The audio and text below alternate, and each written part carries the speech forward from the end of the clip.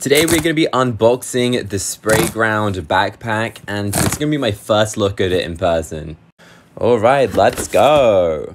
I ordered it from this brand as it was on sale to £60 instead of like 110 Alright, let's take it out of this big box. It says rip me open.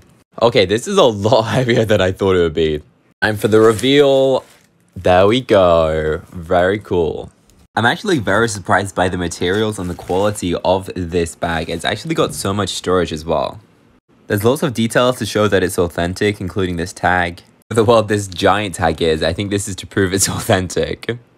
It's got a little eye on the side and also a continuing kind of shark mouth. Overall, it's a very nice bag. I wouldn't pay the retail of 100, but because I got on sale for 60, pretty decent. Probably gonna use it as like a camera bag or laptop bag or whatnot, so pretty good find and I like the style of it. It's gonna match my outfits.